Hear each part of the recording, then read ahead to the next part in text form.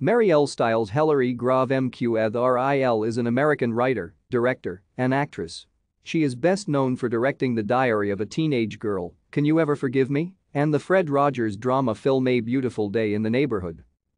Marielle Heller was born in Marin County, California, to Steve Heller, a chiropractor, and his wife Annie Stiles Heller, an artist and art teacher.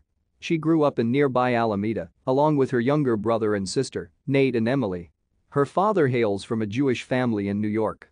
Heller started off as an actor, calling acting her first love.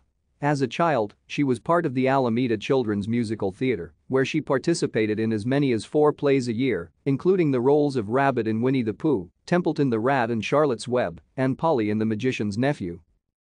With time, she graduated to community theater, as well as productions at St. Joseph Notre Dame, where she attended high school. She graduated in 1997. She studied theatre at UCLA and then at the Royal Academy of Dramatic Art in London. Thank you for watching. Like and subscribe if you would like to view more of our videos.